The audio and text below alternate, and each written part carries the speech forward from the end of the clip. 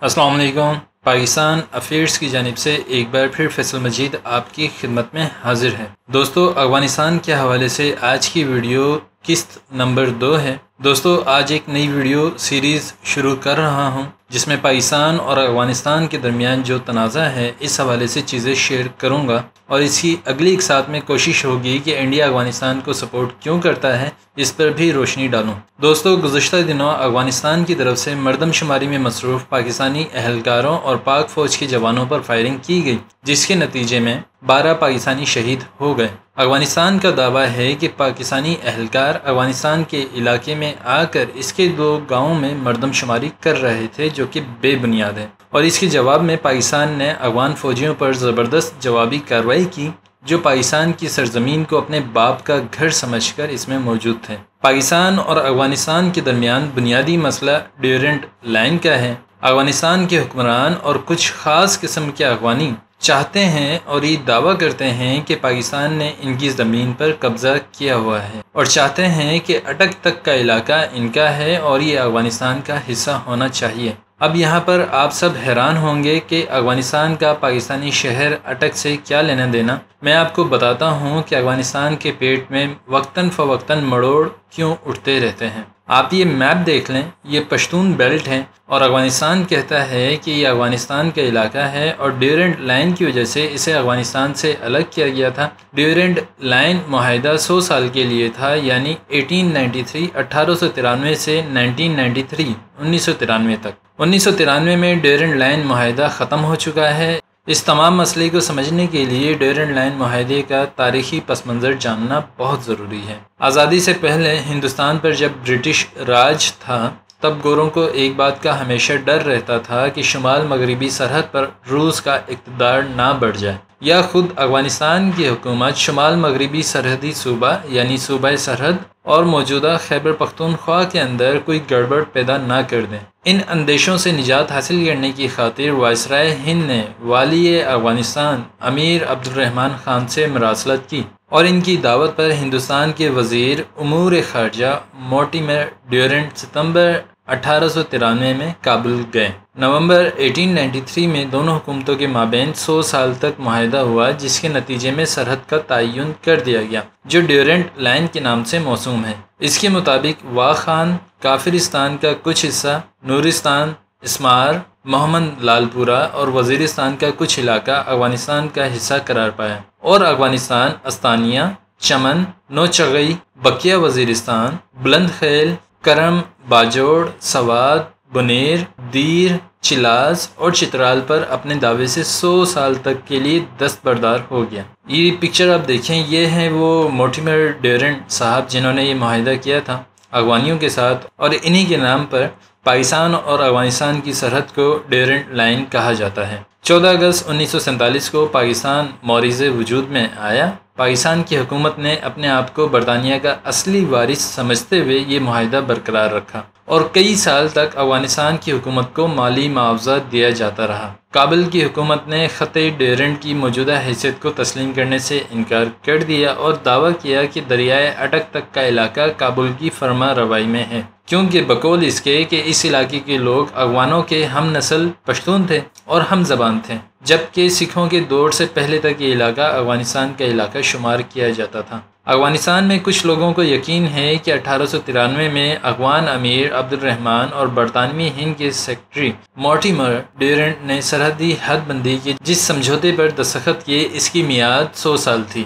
گویا وہ سمجھوتا انیس سو ترانوے میں ختم ہو گیا۔ کچھ لوگ تو یہ بھی کہتے ہیں کہ یہ سمجھوتا برطانوی ہند سے تھا یعنی برٹش سے تھا۔ لہٰذا فورٹین اگست نائنٹین فورٹی سیون کو ہی ختم ہو گیا تھا۔ شاید اسی لیے انیس سو انچاس میں اخوان لویا جرگا نے ڈیورنٹ لائن کو ایک بوگس اور فرضی سرحد قرار دینے کی قرارداد منظور کر کے دونوں جانب کے پختون ایک ہیں کیا نعرہ لگایا۔ یعنی پشتونستان، جس کا ذکر میں اپنی گزشتہ ویڈیوز میں کر چکا ہوں اور یہ سب ہندوستان کے اشارے پر ہی کیا گیا تھا۔ یہاں ایک وضاحت کر دوں کہ دراصل 1893 میں جو ڈیورنڈ لائن کھینچی تھی، وہ سو برسیلی نہیں تھی، بلکہ امیر عبد الرحمن اور سر مارٹیمر ڈیورنڈ نے جس سمجھوتے پر دستخط کیے اس کی میعاد دستخط کنندہ بادشاہ یعنی افغانستان کے امیر عبد الرحمن کی زندگی تک تسلیم کی گئی تھی۔ اس سمجھوتے میں یہ بات بھی شامل تھی کہ افغانستان اپنی ضرورت کا اسلحہ ہندوستان کے راستے درآمد کر سکتا ہے اور برطانوی ہند برٹش افغان بادشاہ کو سالانہ اٹھارہ لاکھ روپے کی گرانٹ بھی دے گا۔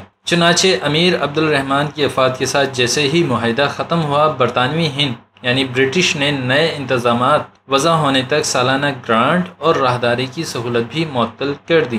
British secretary for India sir Louis Dane نئے افغان امیر حبیب اللہ خان کی دعوت پر بات چیت کے لیے کابل پہنچے۔ اکیس مارچ انیس سو پانچ کو ڈین حبیب اللہ معاہدے پر دستخط ہوئے اور امداد اور راہداری کی سہولت بحال ہو گئی۔ اس معاہدے میں امیر حبیب اللہ کی جانب سے عہد کیا گیا کہ ان کے والد نے برطانوی ہند یعنی برٹش کے ساتھ جو سمجھوتا کیا تھا وہ بھی اس پر مکمل عمل درآمد کرتے رہیں گے اور کبھی روگردانی نہیں کریں گے۔ تھرڈ اینگلو افغان جنگ کے بعد آٹھ اگست انیس سو انیس کو راولپنڈی میں افغان وزیر داخلہ علی احمد خان نے برطانوی ہند یعنی برٹش کے ساتھ جس امن سمجھوتے پر دستخط کیے۔ اس کے نتیجے میں برطانیہ نے اگرچہ راہداری اور سالانہ امداد کی سہولت واپس لے لی، مگر افغانستان کی آزادی اور خود مختاری کو پہلی بار تسلیم کیا۔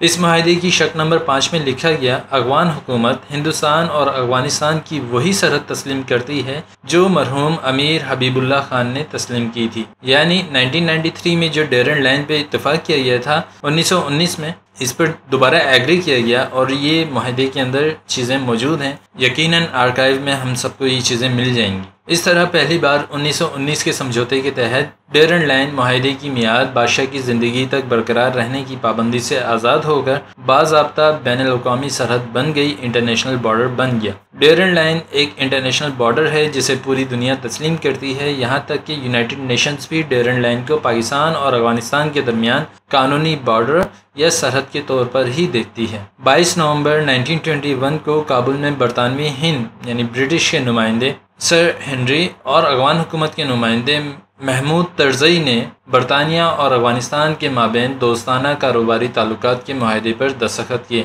اس معاہدے نے انیس سو انیس کے معاہدے کی جگہ لے لی۔ نئے معاہدے کے آرٹیکل ٹو میں لکھا ہے، فریقین ہندوستان اور افغانستان کے درمیان وہی سرحد تسلیم کرتے ہیں جو انیس سو انیس کے معاہدے کی شرط نمبر آٹھ میں تسلیم کی گئی تھی۔ انیس سو اکیس کے معاہدے میں یہ بھی کہا گیا کہ توثیق کے تین برس بعد کوئی بھی فریق معاہدے سے دست بردار ہو سکتا ہے، مگر نہ تو برطانوی ہند اور نہ ہی امیر امان اللہ خان کی حکومت نے اس سے دست برداری اختیار کی۔ امیر امان اللہ خان کے جانشین شاہ نادر خان نے چھ جولائی انیس سو تیس کو برطانوی حکومت کے خط کے جواب میں جو سفارتی خط بھیجا، اس کے دوسرے پیراگراف میں لکھا، آپ کی تحریری یاد دہانی کے جواب میں ہم فخریہ یہ اعلان کرتے ہیں کہ سابق معاہدات نہ صرف توثیق شدہ ہیں بلکہ انہیں مکمل نافذ تصور کیا جائے۔ افغانستان کی تقسیم اور اس کے حدود و اربا کی تقسیم افغانستان کی مرضی معلوم کیے بغیر عالمی طاقتوں نے کی۔ یعنی جس کا دل چاہا، جتنا مرضی چاہا، افغانیوں کو کہہ دیا کہ یہ تمہارے ملک کا آخری کونا ہے۔ تھوڑی سی تفصیل بتا دوں کہ انیسویں صدی میں افغانستان اور روس کے مابین جو سرحدی حد بندی ہوئی، اسے افغانستان کی مرضی معلوم کیے بغیر برطانیہ اور روس نے آپس میں طے کر کے نافذ کر دیا تھا۔ یعنی برطانیہ اور روس نے ایگری کیا کہ افغانستان کی سرحد یہاں سے یہاں تک ہونی چاہیے، جبکہ اسی طرح افغانستان اور ایران کی سرحدی حد بندی کے عمل سے بھی افغانستان کو باہر رکھا گیا اور یہ حد بندی برطانیہ اور ایران کے مابین سمجھوتے کے ذریعے نافذ کر دی گئی۔ ڈیورنٹ لائن واحد سرحدی لکیر ہے جسے افغان بادشاہ کی مرضی سے طے کیا گیا تھا اور یکے بعد دیگرے تین بادشاہوں نے سینتیس برس کے عرصے میں اس بابت پانچ معاہدوں کو تسلیم کیا۔ افغانستان نے آج تک روسی ریاستوں سے ملنے والی اپنی شمالی سرحدی حد بندی اور ایران سے متصل مغربی سرحد کچھ کبھی چیلنج نہیں کیا، مگر ڈیورن لائن کو ہر بار چیلنج کیا۔ اگر پاکستان برطانوی ہند کی جانشین ریاست نہیں، تو پھر افغانستان کی شمالی سرحد کے بارے میں کیا کہا جائے؟ جو سویت یونین کے خاتمے کے بعد سویت یونین کی جانشین وسطی ایشیائی ریاستوں یعنی تاجکستان، ازبکستان اور ترکمانستان سے لگتی ہے یہ افغانی ان سے کیوں نہیں بولتے کہ ہمارے ملک کی حدود کا تعین کرتے وقت ہم سے پوچھا نہیں گیا تھا؟ تو یہ تھی افغانستان کے پیٹ میں مڑوڑ اٹھنے کا تاریخی پس منظر، اور اس میں افغانستان کتنے حق پر ہے وہ آپ سب کو اندازہ ہو گیا ہے۔